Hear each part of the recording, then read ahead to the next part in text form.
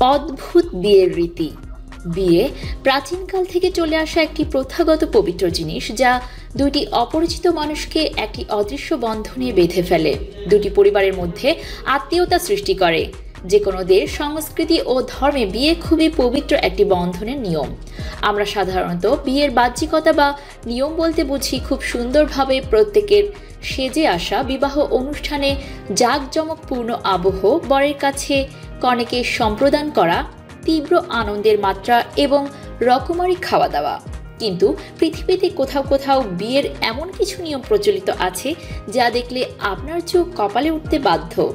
চলুন তাহলে এমন কয়েকটি বিয়ের অদ্ভুত নিয়ম কানুন সম্পর্কে জেনে আসা যাক। কান্নার অনুষ্ঠান। বিয়ের সময় মেয়েরা কেঁদে তার পরিবারের কাছ থেকে বিদায় নিয়ে থাকে।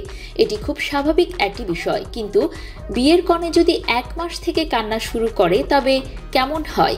চীনে তুজিয়া সম্প্রদায়ের কনেরা বিয়ের এক মাস আগ থেকে প্রতিদিন এক ঘণ্টা করে কান্না করার প্রথা চালু রয়েছে। দশ দিন পর কনের মা তার সাথে কাঁদতে থাকেন। কিছুদিন সব মহিলারা কনের সাথে কান্না শুরু করে থাকেন। এটিকে সল্টি ওয়েডিং সং বলা হয়।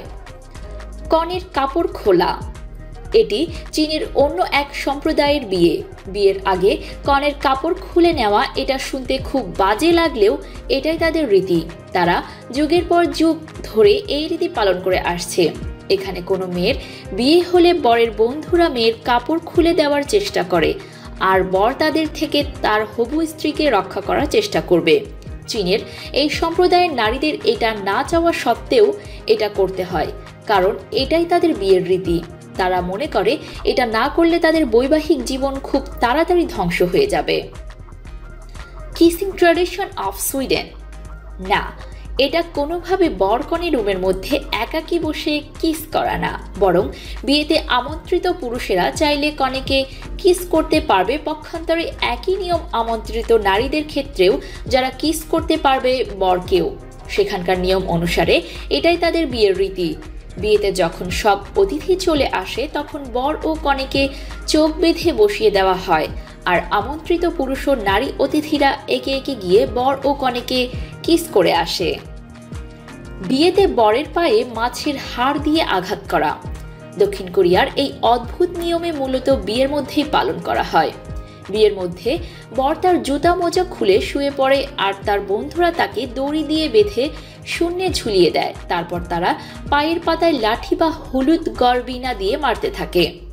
হলুদ গরবিনা হলো এক প্রজাতির মাছের কাটা আর তারা বিশ্বাস করে যে এটা করলে বিয়ের প্রথম রাতের জন্য বর আরও শক্তিশালী হয়ে উঠবে।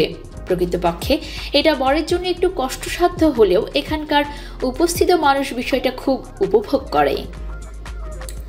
পশুর সাথে বিয়ে। মহিলা বা পুরুষদের পশুর সঙ্গে বিয়ে দেয়া ভারতে খুবই সাধারণ একটা ব্যাপার এবং যুগ যুগ ধরে তাই হয়ে আসছে।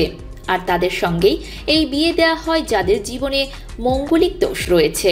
কোনো পুরুষ বা মহিলা যদি বিকল্প অসম্পূর্ণ অঙ্গ নিয়ে জন্মায় তাহলে তার মঙ্গলিক দোষ রয়েছে বলে ধরা হয়। তারা এমনটাই মনে করে যে কোনো মহিলা বা পুরুষকে পশুর সঙ্গে প্রথম বিবাহ করানো হয়, তাহলে তার মঙ্গলিক দোষ কেটে যাবে। তবে তাদের বিশেষ করে ছাগল আর কুকুরের সঙ্গেও বিয়ে করানো হয় এবং পরবর্তীতে তাদের দ্বিতীয় বিয়েও করানো হয়, যেটি হয়ে থাকে পুরুষ ও মহিলার মধ্যে থেকেই। ধন্যবাদ। আমাদের সাথে থাকার জন্য সাবস্ক্রাইব করে আমাদের পাশেই থাকুন।